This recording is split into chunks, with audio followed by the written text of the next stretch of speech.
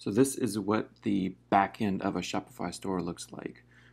One thing that Shopify does a little bit differently, it makes it very useful but also a little bit confusing, is how they split off the back end, you know, the inventory, your products, and your customer lists from the front end of your store or what people will actually see when they go to yourstore.com.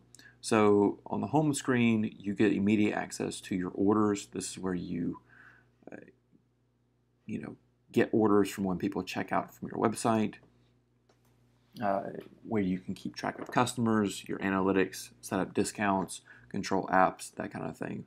The most important thing, though, on the the sort of back end area is your products, where you go to add products, where you can import them via CSV or you can add them with a click of a button.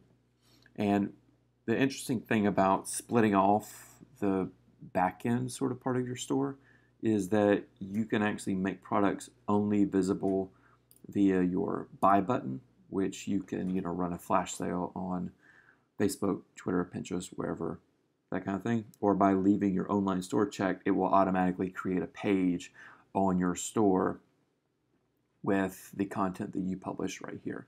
Uh, you also, you know, determine product type, the vendor, collections, which is face, uh, which is Shopify's term for category, set up any tags, any images, that kind of thing.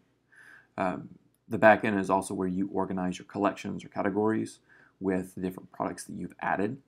And again, when you add these, you just select the visibility to appear on your online store and it appears there. But if you want to manage the actual look and some of the other pages, like your About page, your FAQ page, that kind of thing, you manage the front end of your uh, front end of your store through the Sales Channels button, and you can see where they split off their Buy button uh, from the actual online store. They treat your online store like a sales channel, almost equivalent to Pinterest or Twitter, or Facebook, wherever you're selling products. And this is where you control your design, you know, you can customize the theme template that you're using. You can uh, adjust individual elements, or if you have a designer, uh, you can actually edit the HTML and CSS. Adding pages and blog posts is the same as adding products. Um, it's just you open up the pages area, add page, you can add content, determine a what template to use, uh, determine the search title, meta description, that kind of thing.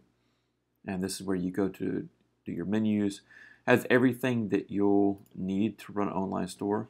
Uh, but again, the, the only thing that Shopify does differently than say BigCommerce or other platforms is that they separate out this inventory area from the front end, which makes it a little more flexible, but also a little bit confusing.